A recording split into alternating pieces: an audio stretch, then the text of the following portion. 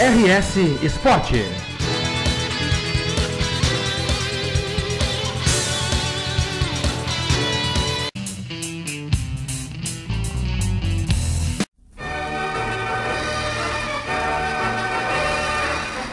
Um grande resultado, uma, uma importante vantagem, mas sempre uh, salientando que essa decisão é feita em dois tempos. É, foi importante ter conquistado esse resultado dentro de casa, que nos dá uma vantagem, mas que a decisão ela vai se dar no próximo compromisso. Olha, esse ano eu estou completando 20 anos de casa. E como jogador foram 505 jogos pelo clube. Essa vitória foi com a cara do clube, com a cara do Grêmio. Jogos com adversidades, jogos com sempre com grandes adversários, decisivos. Uh, e eu não, não, não consigo enxergar diferença de outras grandes conquistas né, que eu tive pelo clube que não foi dessa forma. Né? Sempre difícil, né? sempre com muita entrega, com muita doação, foi hoje, com a superação, mas tudo com muita capacidade. Né? Deu a perceber do início ao final do jogo, mesmo depois que nós ficamos com um jogador a menos, que o torcedor esteve dentro do campo junto conosco. Né? Isso é um reflexo do que acontece dentro do campo. Né? Quando o, o, jogador se doa, se entrega, né? acima de tudo coloca a sua capacidade em prol do coletivo, o torcedor vem junto. É sempre dessa forma. Uma simples vitória por 1 a 0 consegue a classificação. Vamos lá. Realmente no era el resultado que esperábamos, no esperábamos perder ese partido. Lo manejamos bien, eh, controlamos.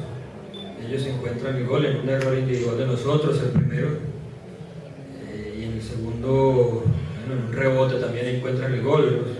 Falta de pronto manejar un poco el balón y buscar más. Eh, vuelvo y repito, no era lo que, lo que queríamos, no queríamos perder.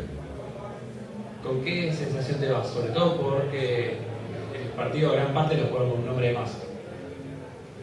No, vuelvo y repito, no queríamos perder. Eh, hicimos un partido inteligente, un segundo tiempo salimos eh, más ofensivos, más al ataque, conseguimos el empate, manejamos un poco, luego dejamos que ellos tomaran el balón y se animaran y se encuentran el gol en un rebote. Creo que no tuvieron más opciones claras después de la expulsión que, que la del gol. Nos faltó a nosotros tener un poquitico más el balón, un poco más de profundidad, porque podríamos haber encontrado otro gol nosotros. O senhor imagina que o Grêmio, no dia 16, lá em Bogotá, na Colômbia, vai jogar para empatar, vai jogar retrancado? En Bogotá vamos a salir a, a ganar. Desde el primer momento tenemos que salir a, a buscar el partido. Eh, esa es nuestra ambición, nuestro sueño, seguir avanzando y tenemos la posibilidad en casa. Vamos en desventaja, pero, pero bueno, eh, en Bogotá tenemos esa posibilidad de de jugar este segundo partido, este segundo tiempo y, y vamos a buscarlo desde el inicio. Amigos do RSSport.com, o Grêmio recebeu na Arena, sua nova casa, o, Santa, o Independiente Santa Fé da Colômbia, pelas oitavas de final da Libertadores 2013. Primeira partida, o Grêmio precisava vencer e venceu, só que o placar não foi aquele esperado. O Grêmio conseguiu uma boa vantagem, mas vai para a Colômbia no dia 16, precisando empatar ou ganhar de 1 a 0, porque se tomar gol, complica a sua vida. Ao meu lado, o repórter Sérgio Duas, da Rádio Gaúcha, que vai junto comigo fazer uma análise da partida e também da perspectiva do Grêmio para enfrentar o Santa Fé no dia 16. Tudo bom, Sérgio? Tudo bem, Copete. É como você disse, né? É, o ideal era fundamental não levar gol aqui dentro da arena, acabou acontecendo. O Grêmio conseguiu ainda superar-se com 10 homens em campo. Não sei por que, o Cris ainda joga no Grêmio. Hoje era o dia de chegar e já rescindiu o contrato dele, porque a contribuição dele no Grêmio é nota zero. Mas conseguiu se superar o Grêmio e vai lá para Bogotá, vai bem cedo, né? vai no dia 8 para ficar um bom tempo lá se adaptando, questões de altitude, e o Luxemburgo tem tempo de sobra para adaptar a zaga para o jogo de volta contra a equipe do Santa Fé. Isso que é um dado importante. O Grêmio vai jogar com uma zaga completamente, digamos assim, desentrosada e nova. que é o Bressan de um lado e o Gabriel do outro, recém-contratado aí do Lajadense e já disputou uma partida de Libertadores. Perguntei pro Roger ali se 15 dias era o tempo necessário para entrosar. Ele disse que sim. Tu acha a mesma coisa, concorda com ele? Eu acho que, que dá, dá para entrosar, isso vai muito do, do temperamento do, do, do, jogador, né? Hoje deu para, nesse jogo deu para sentir que o Gabriel entrou com personalidade. O Bressan já tinha demonstrado também que não se assusta lá no Chile, quando acha o pato no, naqueles momentos de, de, muita pressão, ele saiu-se bem.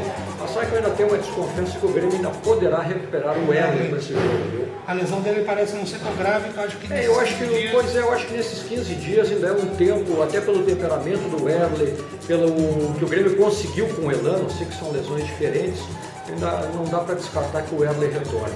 Certo. O Grêmio tem uma, uma mecânica de meio campo que quando funciona, quando joga Elano e Zé Roberto, ela tem uma mecânica que possa servir melhor o Vargas e o Barros. Sem um dos dois fomos, foi o que nós vimos hoje, a dificuldade. Então, tu acha o André Santos acrescentou o quê? Nada, nada, absolutamente nada no meio campo, não sei não, não, tem, não tem sentido ele jogar por aí, ele não está jogando, na minha opinião, né, por tudo, jogador de seleção brasileira, contratado a peso de ouro, já não está jogando bem como lateral esquerdo. No meio campo não acrescentou absolutamente nada. Acho até que hoje o menino, o Alex Telles, deveria ser o titular do lateral esquerdo. O técnico do Independente Santa Fé disse que mudou um pouco a característica do time dele para enfrentar o Grêmio aqui na Arena e que saiu satisfeito com o gol que fez.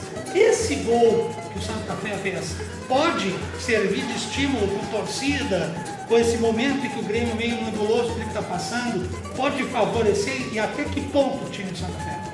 O time de Santa Fé, gostei da equipe, tem um bom toque de bola, uma equipe veloz, vai jogar dentro de casa eh, motivada pelo, pelo, apoio da torcida, pela invencibilidade que até então tinha na competição. Acho que esse gol marcado foi eh, muito importante. Eh, o problema todo, Copete, que a gente não sabe, o Grêmio é um time totalmente inconfiável. Não sei se depois desta vitória o Grêmio vai criar uma cara, vai encorpar, vai ter personalidade. Grêmio é um time sem personalidade. Sem atitude ofensiva. Atitude sem personalidade, não tem atitude. Hoje teve para conseguir essa vitória de 2 a 1 um, mas eu quero saber se continuará tendo. Sim. Se vai conseguir no desafio forte, na hora em que chama a responsabilidade, se esse time dará resposta. Complicado mesmo essa situação, né? Muito obrigado, Sérgio. Até a próxima. Certamente você voltará aqui para comentar com os nossos amigos da RS Sport. Então você, torcedor do Grêmio, amigo da rssport.com, já sabe. Dia 16 de maio, o Grêmio vai decidir a sua vida nessa Libertadores da América. Como eu disse, precisa empatar ou vencer. Não pode tomar gol. Se perder de 1 a 0, dá pênalti. Se perder de 1 a 0, Não, aí dá o Santa Fé. Dá, dá o Santa Fé porque fez o gol claro. aqui, né? Correto. se for 2x1 um para o Santa Fé. 2x1 um para o Santa Fé, tá certo. Então, muito obrigado pela sua audiência e confiança. Continue conosco. Os gols dessa partida você vai enxergar no vídeo abaixo. E até a próxima.